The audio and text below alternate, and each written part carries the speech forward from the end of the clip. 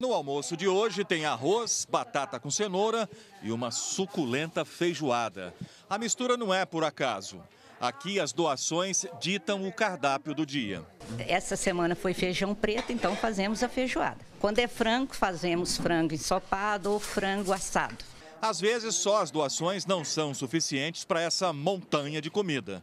Além do suquinho, 150 litros de cada vez. A gente compra também. Se não tiver quem doa, a Liga compra. O projeto começou sete anos atrás com apenas 80 quentinhas. Hoje são 500, entregues toda quarta-feira nas ruas de Goiânia.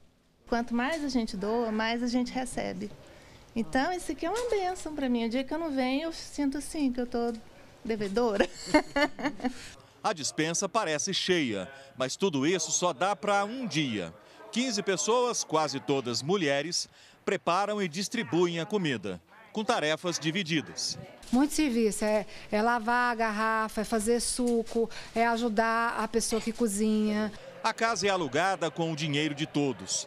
Dois homens recebem salário para fazer o trabalho mais pesado. Às vezes dá vontade de desistir, porque até assalto já enfrentaram. Levar tudo a gente, aí começamos aqui tudo de novo. Era para desistir.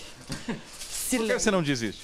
Uai, porque eu morro de dó da minha turminha, é o que eu falo. Se eu não for, ninguém faz a minha rota. Acompanhamos a Silene num carro de luxo na entrega das quentinhas. Carlito pega seis, vai dividir com os colegas catadores de lixo reciclável como ele. É importante muito para nós, né? Essa, essa benção de Deus aí, que é as meninas aí, né? Que sempre traz as quentinhas para nós. O carrão segue distribuindo solidariedade. A gente fica muito agradecido, né? Chegar umas pessoas dessas, doar um, um alimento para nós, isso com certeza. Só tenho que agradecer e a Deus também, né?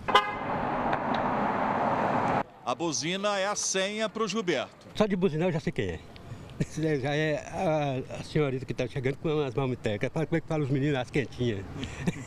Vai uma boa demais, é uma maravilha. É a recompensa.